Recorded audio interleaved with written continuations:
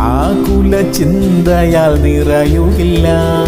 ഭാരങ്ങളോർത്തിനി കരയുകില്ല. തക്ക സമയത്തെനിക്കെല്ലാം ഒരുക്കുന്നവൻ ഒരിക്കലും കൈവിടില്ല.